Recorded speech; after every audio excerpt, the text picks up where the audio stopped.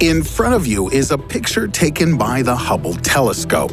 The brightest point is a galaxy called the Sunburst Arc, or PSZ1 G311.65-18.48. The second brightest point in the picture is the same galaxy, as is the third, fourth, and fifth. In fact, all 12 points are in the same galaxy. It seems as if a cosmic Xerox appeared in the universe. How did these 12 copies of one galaxy appear in space? And how many more fake twins can we observe? Let's start by shining a flashlight into the night sky. You probably won't be surprised finding out that a ray of light directed straight into space will not fall back. Even the phrase that the beam falls back onto the ground sounds strange in itself. But under earthly conditions, this is indeed how it goes. Light quanta, at their super powerful speed, can easily move in a straight line right into space, attempting to leave the Earth. However, there are objects in space that are able to directly change the trajectory of light by the influence of their gravity. Black holes, for example, are capable of absorbing any light completely, while other objects are able to distort the flow of light significantly. Imagine that a streetlight outside of your window is shining directly into your eyes, preventing you from sleeping at night. So you get up, open the window, and with your hand, push the ray of light to the side. It's fiction, of course. However, everything happens in a similar way at the galactic level. Massive space bodies bend rays of light, increasing the intensity of the light for a long distance behind them. There's a pretty significant distance of 11 billion light years between the Earth and the galaxy with the 12 copies. The most important thing is that this huge space of 11 billion light years in distance is not empty at all. This space is filled with clusters of galaxies so massive that with their gravitational field, they're capable of changing the trajectory of a ray of light. The ray of light doesn't fall due to the great speed of the photons. For an outside observer, it will seem that the light is only bending towards a massive object, or alternatively, goes around it. In physics, this process is called gravitational lensing. Its essence is that massive objects can bend electromagnetic radiation in the same way as ordinary lenses do with light rays. Only as opposed to an optical lens, gravity works a little differently. Gravity exerts greater influence on the light which passes closer to the center of the object and less on the rays located farther from it.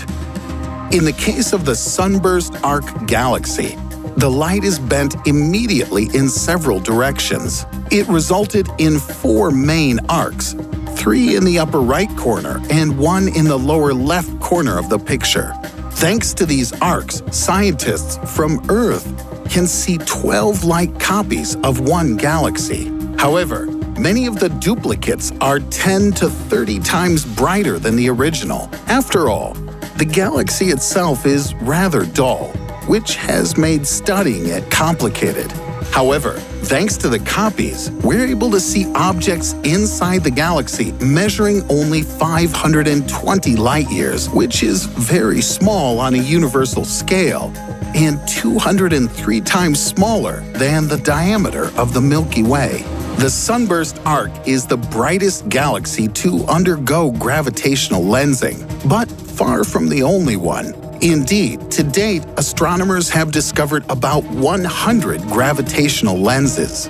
This means if you grab a telescope right now and look at the night sky, you can see many copies of distant objects. In order for the galaxy to act as a gravitational lens, its mass should be at least a trillion. That's 10 to the 12th power solar masses. Although for stars, this figure is much smaller. Our galaxy, the Milky Way, is just suitable for such purposes. Its total mass reaches about 1.5 trillion, that's 1.5 times 10 to the 12 solar masses. That is, almost any object observed outside our galaxy will most likely be visually split for terrestrial telescopes. Why bother with telescopes? Sometimes you can even see everything with the naked eye. When you look at the starry sky at night, a copy, not the original, is often what catches your naked eye. This proves the experiment of Arthur Eddington, an English physicist who made his colleague Albert Einstein incredibly popular. As early as 1919, Eddington decided to test Einstein's theory about large objects bending space. While observing a solar eclipse on the island of Principe, Eddington discovered that the light of a star that appeared next to the sun was actually curving and extending on a slightly different path. That is, the star itself was not in the place where the scientist discovered its light. Thus, this confirmed all of Einstein's predictions on the matter, bringing him to world fame.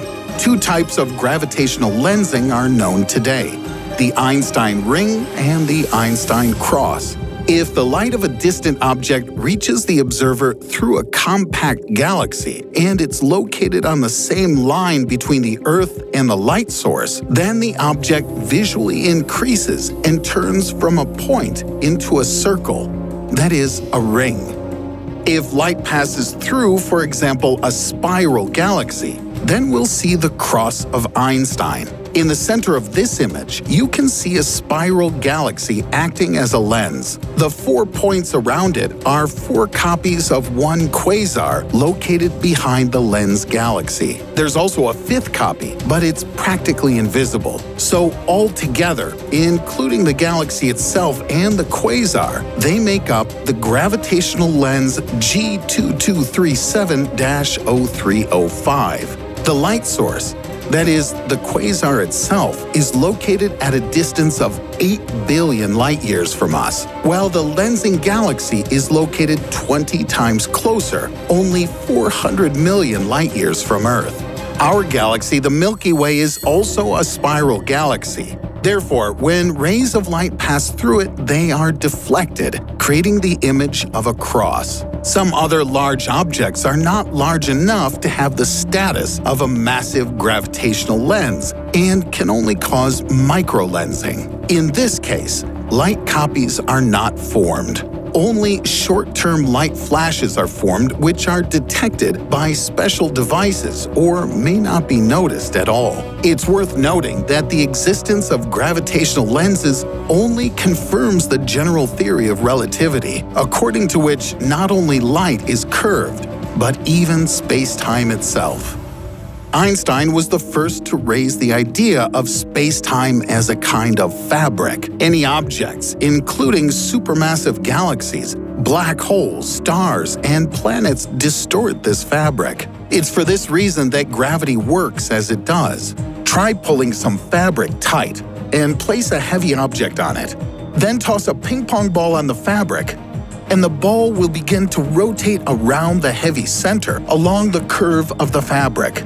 It all depends on the ratio of their masses. The same thing happens on a large scale. The moon constantly falls to the Earth along the curved lines of space-time. The Earth falls towards the Sun and the solar system to the center of the galaxy. Since time is closely related to space, it's also curved by large objects. The closer you are to a massive object, the more time slows down. Near a black hole, it can stop altogether. And in open space, time will flow rather quickly.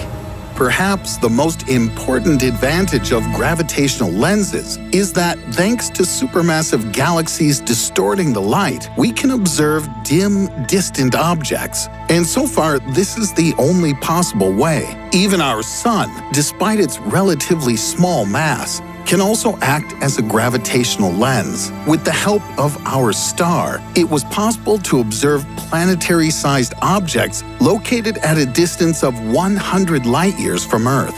According to the Italian physicist Lorenzo Maccone, the sun's ability to bend light of distant objects allows you to get more detailed images than thousands of telescopes combined. It's likely that if you look at our solar system from a distance of several million light years, you can also see copies of it. What do you think? If extraterrestrial civilizations exist, will they be able to find us guided by light copies of our solar system? Let us know in the comments. If you like my video, subscribe to the channel click on the bell so you don't miss any new releases and give us a thumbs up. Share this video with your friends. It's much more interesting discussing these topics together.